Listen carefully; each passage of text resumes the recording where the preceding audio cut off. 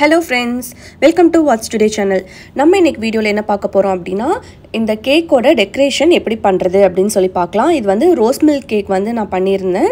So அதோட decoration வந்து நான் இன்றைக்கி எப்படின்னு சொல்லி உங்களுக்கு காட்டுறேன். நம்ம வீடியோக்குள்ளே போகிறதுக்கு முன்னாடி நம்ம சேனலில் சப்ஸ்கிரைப் பண்ணலைன்னா மறக்காமல் சப்ஸ்கிரைப் பண்ணிட்டு பக்கத்தில் இருக்கிற பெல் ஐக்கானும் ப்ரெஸ் பண்ணிக்கோங்க.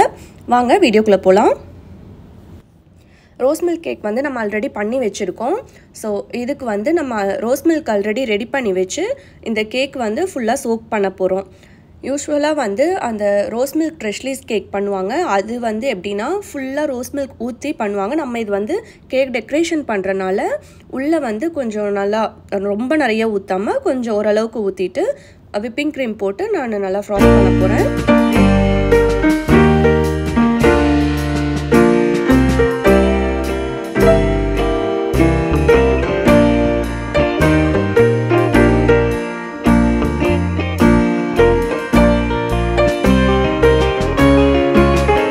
நம்ம இப்போ விப்பிங் க்ரீம் போட்டோம் ஒரு லேயர் நெக்ஸ்ட் லேயர் கேக் வந்து வைக்கலாம்.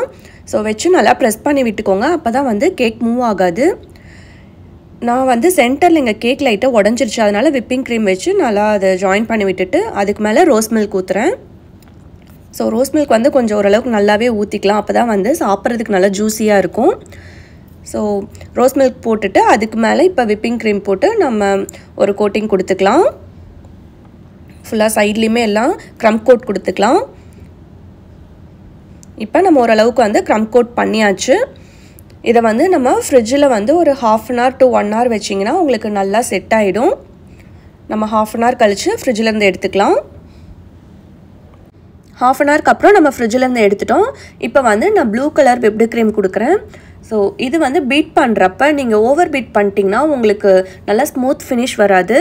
ஸோ அது கரெக்டான கன்சிஸ்டன்சியில் பீட் பண்ணி நம்ம இந்த மாதிரி ஸ்மூத்தாக வந்து ஃபைனல் கோட்டிங் கொடுத்துக்கலாம்.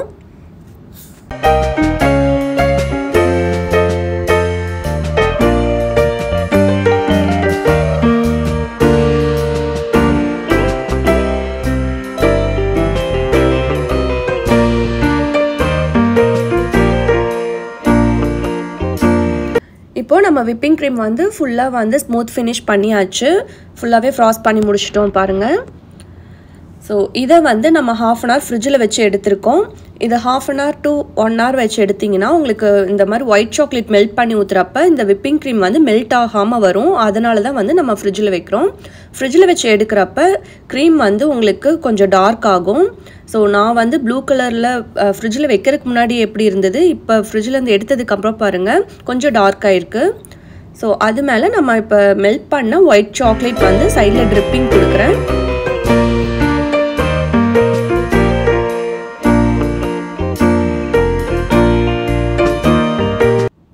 ட்ரிப்பிங் ஃபுல்லாக கொடுத்துட்டு அது வந்து சீக்கிரம் நமக்கு ஹார்ட் ஆயிரும்.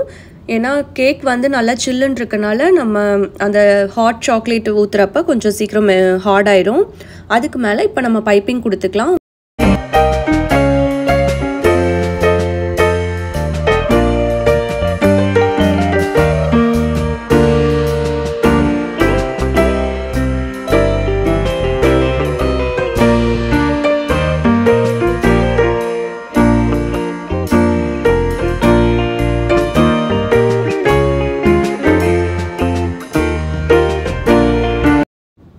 அவ்வளோதாங்க நம்ம சூப்பரான ரோஸ் மில்க் கேக் வந்து டெக்கரேட் பண்ணி முடிச்சிட்டோம்.